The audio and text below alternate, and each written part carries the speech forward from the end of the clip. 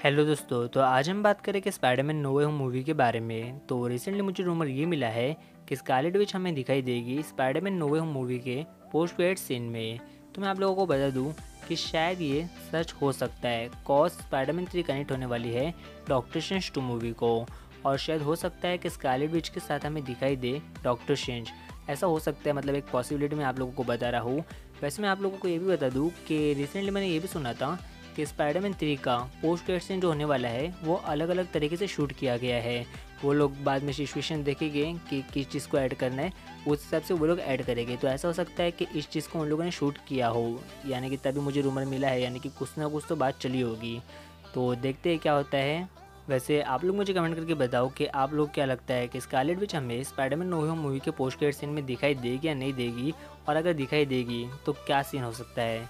Scene को लेके मैं वीडियो बना दूँगा, यानी कि थोड़ा टाइम लगेगा बट मैं बना दूँगा कुछ थियरी वगैरह। बट आप लोग मुझे कमेंट करके बता सकते हो, शायद मुझे कुछ और आइडिया मिल जाए आप लोगों के कमेंट से। तो देखते हैं मतलब मैं क्या बनाता हूँ।